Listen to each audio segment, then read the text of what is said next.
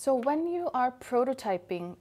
to kind of, you know, explain your idea to either other stakeholders or for other people in your design team, one way to prototype is to create a storyboard. So that is sketching, kind of going beyond just a typical sketch where you rather try to explain different steps of your solution. This creates maybe a bit more deeper understanding and, and helps people understand not only you know the story of what you're creating, but also you try to identify pain points and, and illustrate those. So the first step here, if your concept is in an inclusive podium for wheelchair users at a festival or a concert, then you know the first step is the wheelchair user is arriving at the festival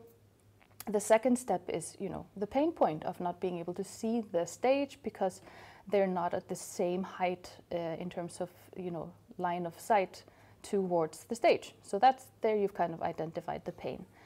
The third step is you know the beginning of your uh, concept where you know help is on the way. There is a festival staff member uh, arriving with a, a, a portable podium for you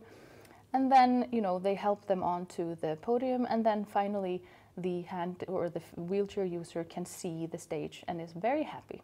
So in that sense you create a storyline um, which creates a deeper understanding of a concept